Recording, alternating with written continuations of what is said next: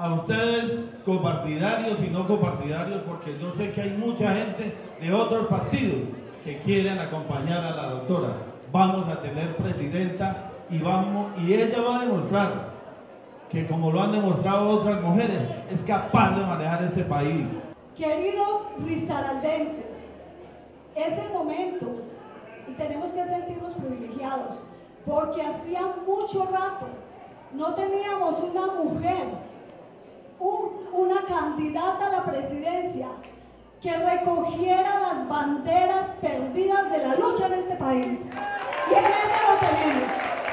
Estamos sumando desde todos los tintes políticos de este lindo país. Ahora tenemos una oportunidad de oro, una oportunidad que vamos a sacar adelante. Uno pasa por las calles y la gente le dice, tan buena que su candidata Marta Lucía. Ah, pero ¿será que si gana? Pues claro que gana. Si usted vota, ella gana. Y si el otro que está indeciso vota, también gana. A nadie en este país le queda duda que estamos con la mejor candidata. A nadie, ni siquiera a los contrarios. Ellos lo saben.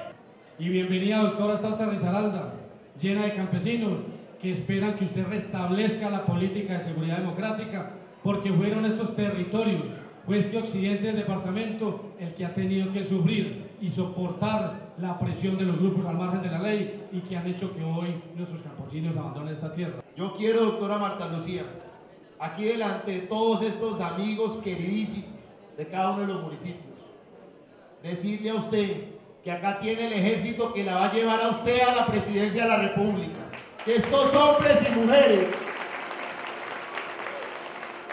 son los guerreros de cada municipio que con toda seguridad van a transmitir su mensaje para que cada una de esas comunidades y cada uno de esos municipios tenga la claridad absoluta que usted es la mejor candidata para representarnos en la presidencia de la República.